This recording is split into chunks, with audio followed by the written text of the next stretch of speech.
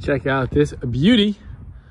Today we're at, looking at this 68 Chevrolet Camaro with that black vinyl top, that green body. I love that color actually. It's like this huntery green, just an awesome color in my opinion.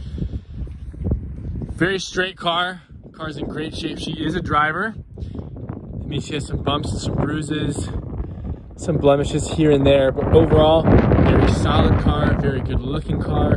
This car is incredibly drivable as well. And he's got a good amount of documentation on it. I'll show you that file when we get into the interior. Door panels are in good shape. Beautiful, actually, upholstery in this thing. The upholstery is incredibly nice. No rips, no tears, no holes. There's barely even any wear. Like normally you'd see some wear here where people's butts go, but I mean, this is, it's nice. Look, he's got his little used car sticker. Beautiful dash as well. Manual transmission for four speed. And so then here are some of the documents that we have on this vehicle. I mean, it's, it's quite a bit, quite a bit indeed. So, but let's go to the fun part as always. Sorry about that, gang. We got a, uh, a phone call that interrupted us. So this thing's steering is absolutely buttery. I mean, it is just so smooth and nice. Brakes are also feeling very nice. You don't have to mash your foot into the floor to get this thing to stop. But steering, man, the steering on this is just so so nice. All right, let's go ahead and uh, have some fun.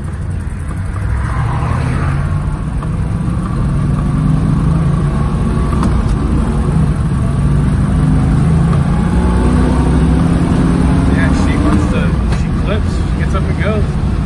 It's a really fun car to drive, guys. We're not all over the road.